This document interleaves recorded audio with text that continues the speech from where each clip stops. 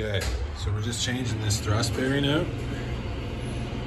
Here's a look at the gear, the crown, the worm, the oil, shaft. Here's the uh, old cage washer, the nut. They buggered up pretty good. This is actually the correct tool to put those on with, right? So we got that for the new one. Uh, went pretty good. Some marks there of pulling it out.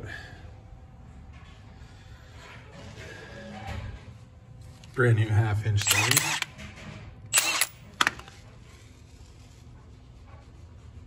But I'll show you the uh, bearings in a second. Okay, so there's the old one. What's weird about this one is you see this little, almost like a dust cover on there, which the new one doesn't have, which I don't think it should have this, right? But it's not sealed, so it may not really matter. Got the new 7309, I think the bearing is. New cage washer, new nut. And this is what the bearing sits inside here.